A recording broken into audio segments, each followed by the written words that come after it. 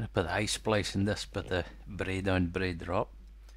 So I'll just uh, get the eye size gauged first. Uh, and I'm going to leave a tail about a fid length. So that's why I've got the fid there. And where the eye meets, I'm going to put on a marker. So that's my eye gauged up.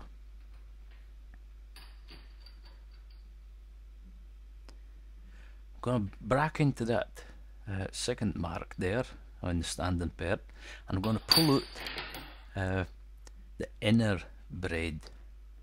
That's a bit fiddly. Uh, to use this spike to get in and grab ahead of it.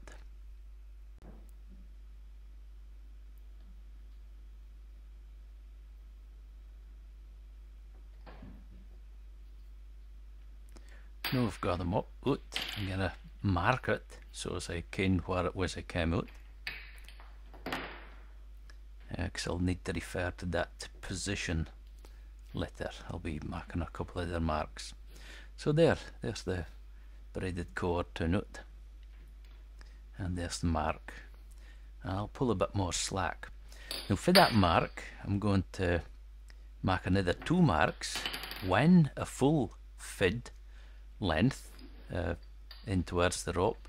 And then the next one for that mark, I'm going to put one about three quarters the length of the fid.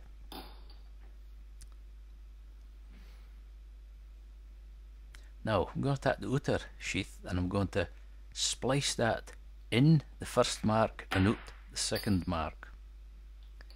So I'll take that fid there and thread them through.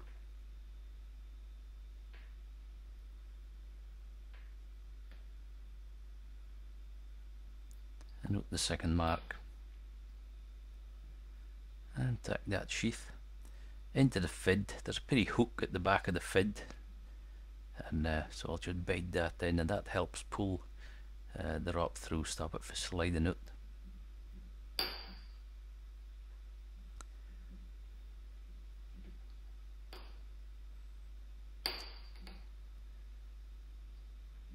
So, in and out. In one mark and out the other. It's a bit compressed that, but that's fine. That's what we want. Now I'm going to tack the uh, end of the sheath there, and I'm going to taper it a bit with the scissors there. Uh, this taper is going to sit inside uh, and disappear, and I'll just expand uh, the inner cord there, and in the inner braid, and just get it all sit inside. I'll stick on a bit of tip here. If I didn't do this, then when I'm working with the other tail, there's a chance that it might pull out.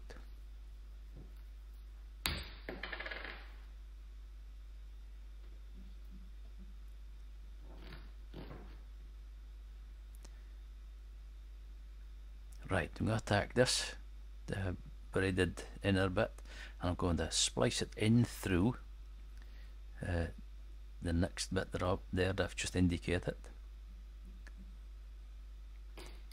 Just trim that uh, loose bit there, that'll not be needed. I've picked this slightly smaller fid here for this one.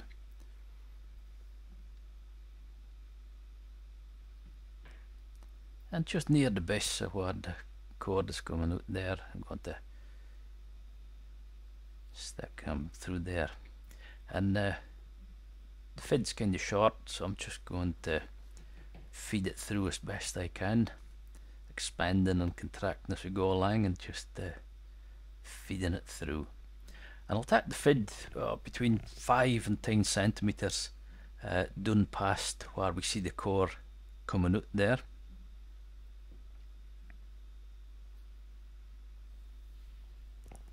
let's go for about 5 centimeters there This can be kind of tight sometimes, so I'll just pull them through.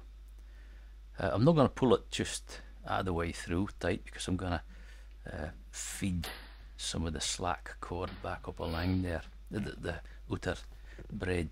As you can see there, it's kind of getting fade in and it's pulling in the uh, inner core as we do that.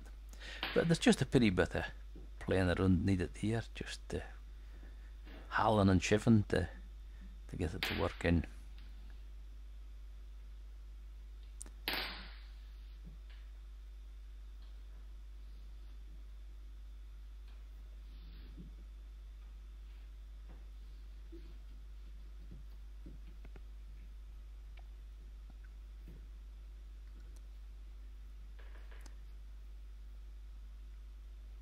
So that's that one bedded in fine.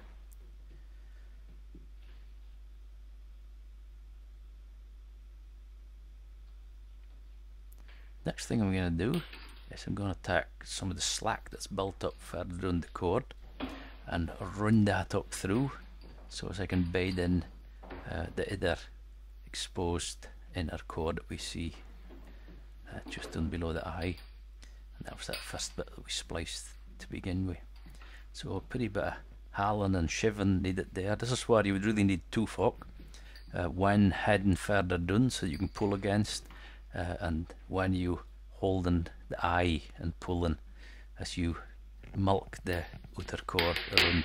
I'm just taking away the bit of tip that I left on there because that bit of braid needs to go right in. That was the bit of tip that I put on to stop the tail from sliding out initially. So feeding more slack up. And pulling it through. Now at this point I uh, took it and hooked it over a handle so as I could put a bit of strain on uh, for the eye side as well.